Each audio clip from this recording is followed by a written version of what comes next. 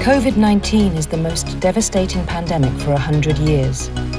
So agencies are taking unprecedented steps to accelerate the development of tests, treatments and vaccines. Clinical trial sites and manufacturing plants are being created all over the world.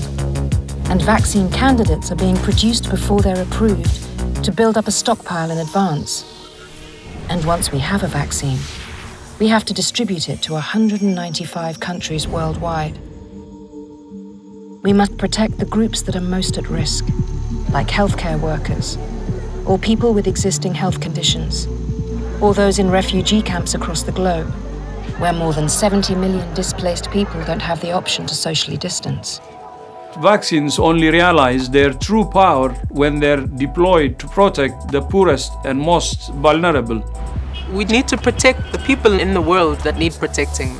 We, we can't do this as isolated countries or as, as isolated systems. It's going to take the whole world and all the systems and all the people in the world to come together to fight this. No one is safe from COVID 19 unless everybody is safe.